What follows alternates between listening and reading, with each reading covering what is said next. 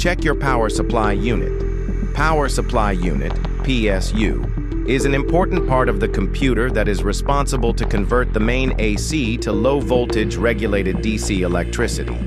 If you meet the issue of power button not working PC, you can perform a test to see if the PSU goes wrong. Besides, you should check cables and connections from your PSU to make sure they are connected correctly. Now, take your 20 or 24 pin connector and locate the green wire. There's only a single green wire, so it should be quite easy to find. Next to it should be a black wire. Take a paper clip or short wire and bend it into a U shape.